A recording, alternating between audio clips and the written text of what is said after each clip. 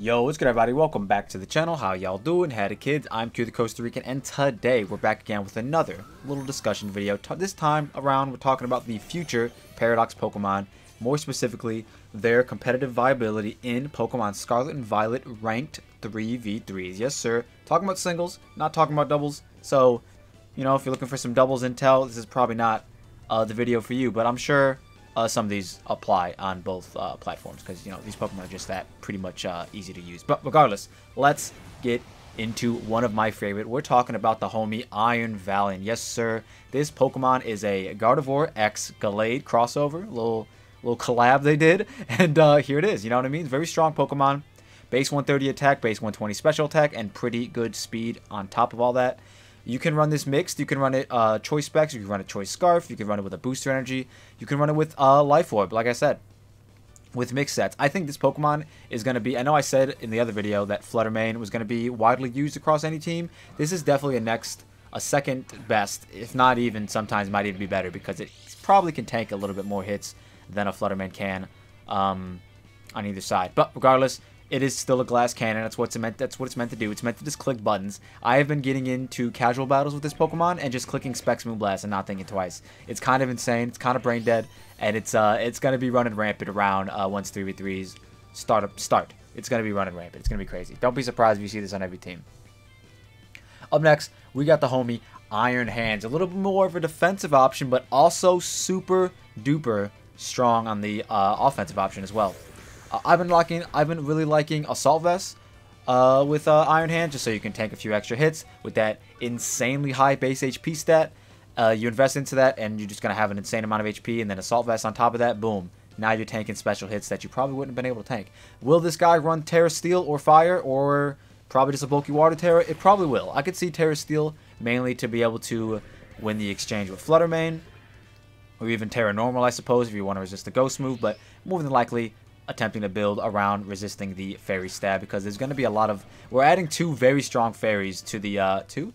Maybe it's just two maybe there's more. We're adding well i guess i don't really count Scream Tail but yeah we're adding two very strong fairy types to the meta once series 2 comes out. So uh, it's it's the, the, the steel terrors are going to be prevalent and they're going to be around. And also just getting your steel terror on any of the iron pokemon is also just very fitting because i feel like some of them should have at least been steel type i'm not talking about you iron treads but regardless uh, this Pokemon is going to be insanely hard to deal with Iron Hands. I think it's actually going to be probably like top three in usage in terms of like overall Pokemon. I could definitely see this Mon being built to like live very specific hits, maybe even be Air Balloon, maybe be Tera Flying for the ground types or something of that nature. It also for some reason gets Swords Dance and Belly Drum, which is kind of insane. So if you watched the last video and you like want to Omni Boost with your Scream Tail into Iron Hands, it's fucking over, bro. It's over. It's gonna be it's gonna be crazy. Um, but yeah, that's uh that's Iron Hands. I really do see this Pokemon putting in a lot of work once the ranked 3v3 series 2 drops and that is going to be very soon guys. I think I think at the time of this going up there's going to be like a day break and then the next day after that boom series 2 don't quote me on this though. I might be wrong. I, I genuinely don't know. I'm kind I kind of sometimes just talk and without fact checking myself and uh, but then I'll let the comment section tell me, you know, if I'm wrong or not. Regardless, up next, we have another Pokemon that is super duper good. And I, I do have these slightly ranked in terms of my, like, you know, favorite to least favorite. Not to say that any of them are bad, in my opinion, but I ended up putting Iron Bundle here at the three spot only because he's his worst enemy. He's his, what's the word? What's the phrase? He's his biggest enemy? Something like that. He can miss Hydro Pump is what I'm trying to get at. And that's literally the only thing holding him back. If my man could just always land his hydro pumps, if you if there's an avid gravity user in the chat, you know what I'm saying? Maybe we could pair him with Iron Bundle. But yeah, super duper fast, hits really hard on the special side. Has flip turn, one of the only two Pokemon in the game to get flip turn, so that's gonna be really good for pivoting like into a yawn spammer and then get to be able to get out while also simultaneously dealing damage. Once again, he is a uh, Paradox Mon, so booster energy is kind of just like a guaranteed like, oh, you want to don't know what item to put on it? Put on a booster energy. Specs or Scarf, pretty similar to Iron Valiant, except for he's just a little less reliable, only because he can miss one of his uh, strong water stabs. So there is that. But regardless, I've been having a lot of fun running him with uh, what's what's his name, Abomasnow to be able to get up snow. Could even see him being ran with Slowking, the better snow setter. to be able to get up snow, and uh, then you can just fire off like Specs Blizzards that can't miss, which is kind of insane. I'm curious to see how much Specs Blizzards does to like some of these fire types in the meta that's going to be running around. But yeah, this is going to be a really good Pokemon. Uh, one thing that I, people have been pointing out that I uh, already noticed as well when I was thinking about counters to set Iron Bundle sets, Tera Fire Gastrodon is going to be a bit of a problem to deal with this. A bit, be a bit of a problem for Bundle to deal with. So that's why we're recommending a little bit of Tera Ground usage. Uh, which, you know, it only becomes good once they Tera Fire, but obviously if they don't Tera Fire, then you have Freeze Dry, which is four times super effective. So they almost always have to Tera in front of the bundle if they want to live, unless they know your choice locked into uh, into a water move. But also, you know, Boots and Life Orb is just as viable on the homie. So take that as you will. That's Iron Bundle. He's uh, just the top three are kind of brain dead mods. You just do whatever you want with them, and they're gonna do something well. Uh, up next, another good Pokemon. We have Paradox Volcarona, the future form.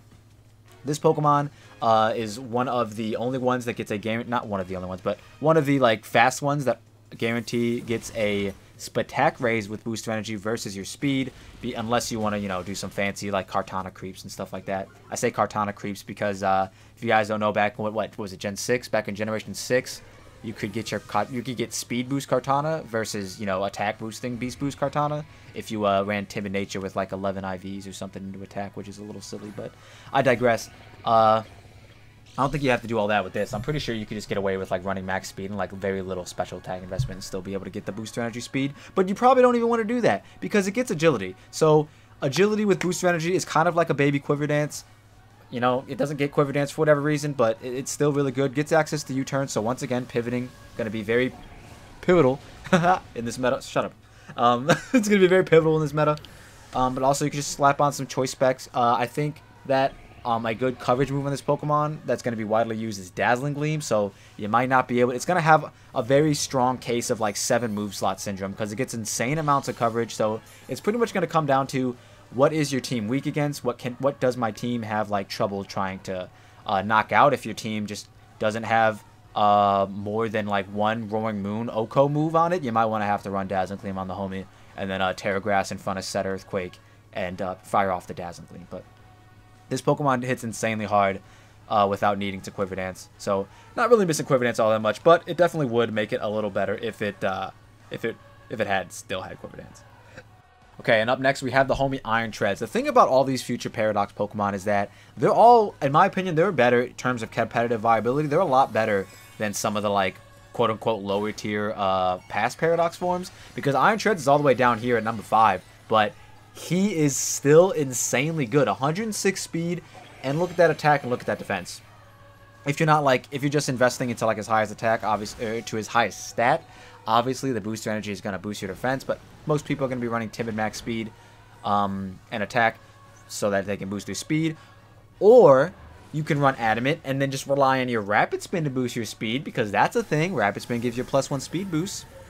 This is also going to be, once again, another really good counter to um, some hazard stacking leads. You can rock out with the air balloon so that you can guarantee uh, spin hazards away in front of Glim Glim because they can't OHKO you with any other move besides Earth Power and they can't hit you with the Earth Power if you got the balloon. And the good thing about the little interaction with um, Toxic Debris and Rapid Spinning is if is even if you rapid spin, it shows the animation of the toxic debris coming out and still going on the field. But trust me when I tell you, it does go away. So some some uh, interactions I foresee is Iron Treads earthquaking the the uh, Glimmora, them getting up T spikes and Stealth Rocks all in one turn, and then breaking it down to Sash. You get a, you rapid spin on the following turn, get rid of all the hazards. The Glimmora is null and void. Definitely, get, a lot of people are gonna have to adapt to that and not and not run uh, either run I guess Ghost Tera Glimmora or just not run Glimmora. Could we please do the latter and not run Glimmora? That'd be great. Another fun set on this Pokemon could be Iron Defense Body Press because you can get to plus six Iron Defense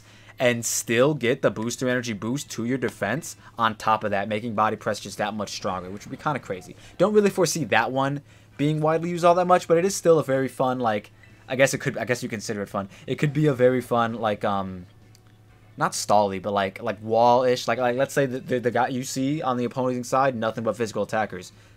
Iron defense body press. You know what I'm saying? It, it could it could fuck around and uh, just be a really good set. But I think more so more often than not, it's going to be either booster energy rapid spin to try and sweep, or just a hazard control lead to uh, oppose the Glimmora and or the Garchomps and stuff like that running around.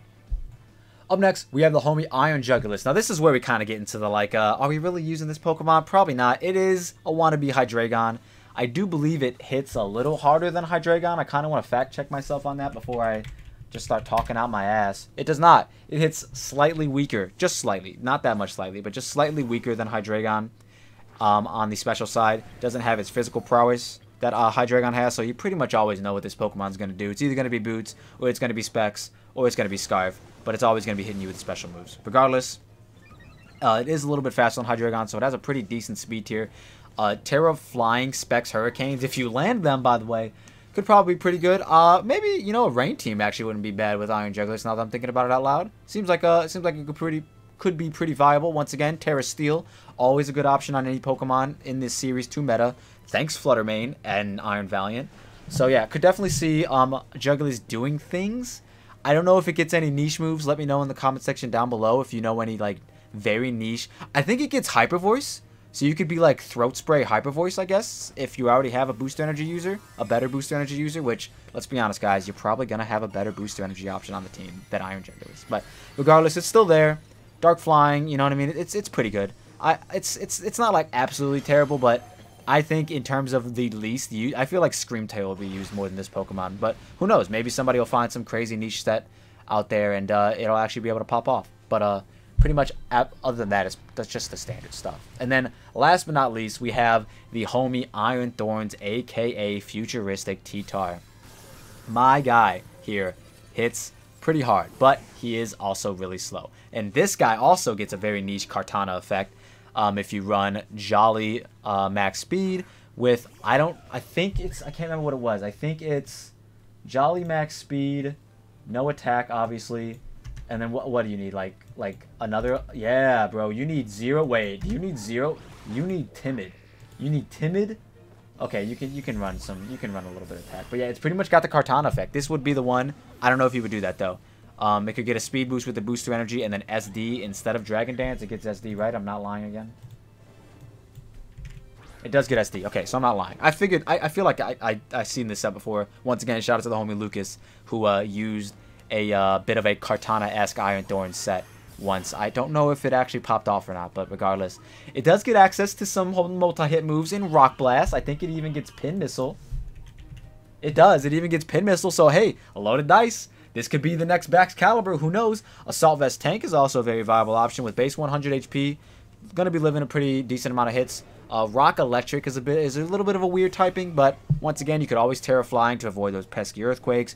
You can Tera Bug for whatever reason. I don't know why that's there. You can Tera Bug for whatever reason. Air Balloon to already be immune to the set uh set um said ground moves and then get up your stealth rocks and or spikes. So it could also be a hazard stacking lead with just max HP and trying to tank some things off. But uh, rock and electric stab seems to be pretty good opposing flying types are not going to want to show up to the battle. You know what I'm saying?